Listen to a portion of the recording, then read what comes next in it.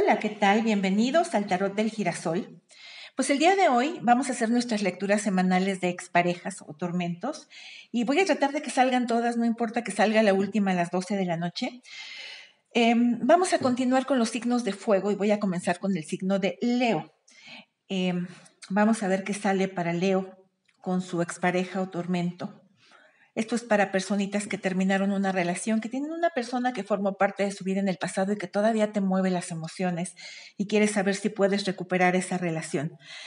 Te comento antes de comenzar con tu lectura, Leo, que abrí un nuevo canal el día primero de febrero y desde ese día estoy subiendo contenidos. Como esta es una lectura de expareja, seguramente allá vas a encontrar contenido interesante porque hay una lista de reproducción que tú podrías... Em, estar visualizando, porque hay muchas cosas interesantes que tienes que tomar en cuenta cuando quieres recuperar a una expareja.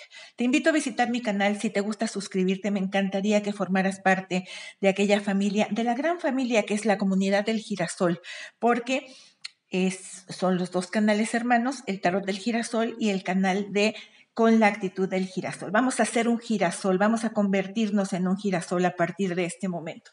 Bueno, también te comento que las lecturas personalizadas ya están aperturadas a, todo el mundo y que los datos de información, bueno, que el, contacto lo encuentras aquí en la cajita de información. Entonces, ahí también encuentras el link de mi nuevo canal, por si te interesa. Vamos a ver, vamos a ver qué cómo está tu energía en este momento con respecto a esta personita especial. Tu energía en este momento, Leo. Tenemos la carta de la estrella. La energía de esta persona es la luna. Tenemos la templanza y tenemos el sol. Mira qué bonito. Qué bonita lectura tiene esta persona. Vamos a ver. Vamos a sacar las cartas y tú sabes que hasta que ya está colocada toda tu lectura es cuando comienzo a explicar. Piensa en esa persona, Leo mírale a los ojos, al centro de su frente y pregúntale. Pregúntale, ¿qué piensas con respecto a mí? ¿Qué sientes con respecto a mí? En este momento, ¿qué estás haciendo en relación conmigo? ¿Cómo te vas a comportar en un futuro? Existen posibilidades de un acercamiento o incluso de una reconciliación? Vamos a ver qué nos dicen tus cartas. El pensamiento de esta persona con respecto a ti, tenemos un paje de bastos. Los sentimientos de esta persona con respecto a ti, tenemos un ocho de oros. ¿Cómo se está comportando contigo en este momento? Tenemos un dos de copas. Em, en un futuro, ¿cómo se va a comportar? Tenemos el nueve de oros ¿Qué es lo que haría que esta persona retornara a tu vida en este momento? Tenemos la rueda de la fortuna. ¿Por qué razón no está contigo? Tenemos el ocho de bastos. ¿Qué hay en el subconsciente de esta persona con respecto a ti? Tenemos el emperador. ¿Existen posibilidades de un acercamiento e incluso de una reconciliación, sí o no? Tenemos el ocho de espadas. Y en el fondo de la lectura tenemos un 10 de oros. Yo quiero saber a qué, se, a qué se refiere este 2 de copas, porque este 2 de copas puede significar dos situaciones diferentes. Yo creo que es la más positiva, pero yo quiero que me lo aclaren. ¿Por qué tengo un 2 de copas en el comportamiento actual de esta persona? ¿Por qué tengo un 2 de copas en el comportamiento actual de esta persona? Vamos a sacar tres cartas. Tenemos el carro, tenemos el seis de bastos y tenemos el as de espadas. A ver, vamos a ver. En tu energía, y te voy a sacar tu consejo de una vez, porque si no luego se me olvida.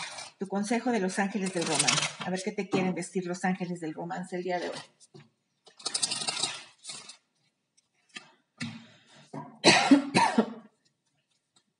bueno, Mira, en tu energía tenemos la estrella.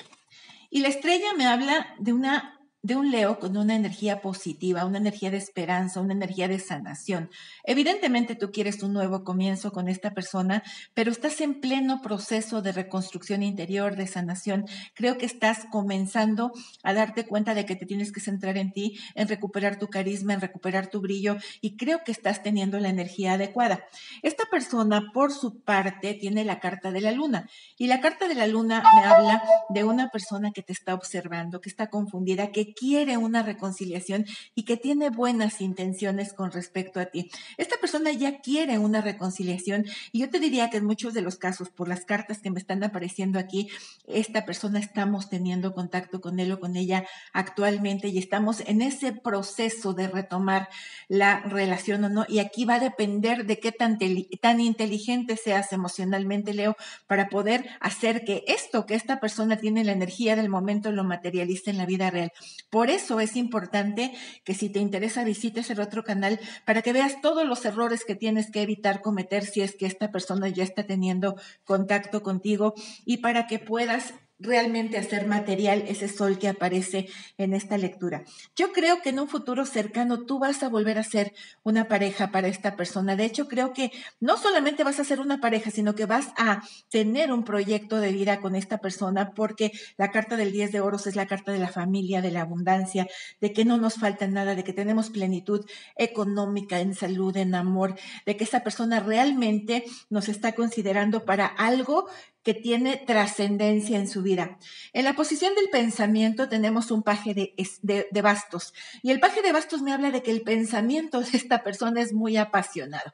A mí no me extrañaría que con esta carta esta persona estuviera teniendo incluso fantasías de naturaleza erótica contigo porque esta carta es muy pasional y porque si estamos en el pensamiento y tiene pensamientos pasionales, pues tienen mucho que ver con las fantasías. Hay mucho de deseo aquí.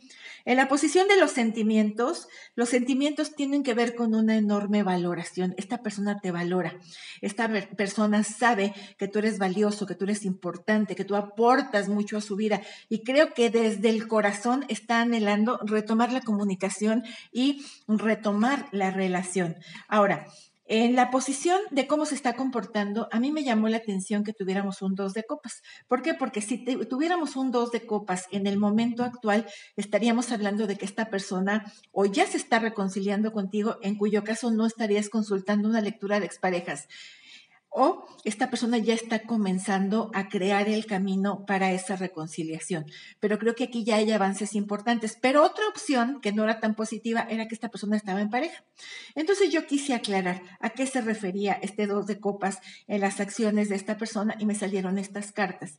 Creo que esta persona sí está retornando, creo que están en comunicación, creo que están en esa negociación que se realiza cuando una persona retorna a tu vida. Y si no ha retornado en todos los casos, porque evidentemente es una lectura que llega a muchas personas, pues en la mayor parte de los casos sí, y en otros casos está a punto de retomar la comunicación y viene con armonía, viene con buenas intenciones, consciente de que pudo haber cometido errores, dispuesto a asumir su responsabilidad con el carro. Me parece que doblegando su ego, porque tiene un seis de bastos aquí, entonces doblega su ego y creo que al doblegar su ego te podría estar proponiendo tener una conversación a muy corto plazo. Hay que ir preparados para esta conversación porque es unas de espadas y acuérdate que las de espadas es de doble filo.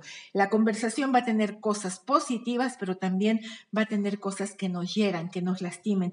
Entonces, por esa razón hay que tener eh, una inteligencia emocional importante para poder reaccionar ante este tipo de situaciones. ¿Por qué? Porque fíjate que yo lo veo comunicándose, pero luego en el futuro, en el futuro veo que esta persona vuelve a tener cierto egoísmo, vuelve a ser una persona que desea estar sola, que se centra en lo material. Por eso es importante, de verdad, aparte de que me gustaría mucho que formaras parte del otro canal, lo que sucede es que cuando llega este momento en que la persona hace acto de presencia en nuestra vida, pues nosotros nos saboteamos porque cometemos un montón de errores que no debemos de cometer. Y entonces esto que va tan bien encaminado lo echamos a perder en un futuro. Pero lo podemos corregir. ¿Por qué? Porque esta carta está en el futuro. Y si está en el futuro, el futuro no existe. Entonces yo puedo cambiar el rumbo de esta situación y hacer que este nueve de oros sea este 10, porque el 10 lo tengo ahorita, pero el 9 lo tengo en el futuro.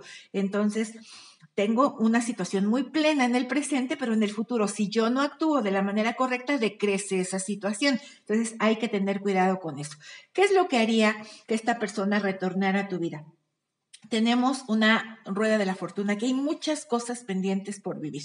Creo que esta persona, si tenemos la carta de vidas pasadas, de una relación que viene de una vida pasada, tenemos un dos de copas, tenemos la rueda de la fortuna y tenemos, sí, nada más estas, estas tres, la carta de vidas pasadas, el dos de copas, la rueda de la fortuna y el sol me están hablando de una relación por destino. Es una relación en la que tú tienes que aprender muchas cosas y creo que la rueda de la fortuna nos habla de que esta persona te va a buscar en el momento adecuado. Creo que aquí hay mucho de la divinidad para que esta persona tome acción y venga hacia ti, porque te repito, es una eh, relación que podría estar viniendo de una vida pasada en el caso de que tú creas en una vida pasada.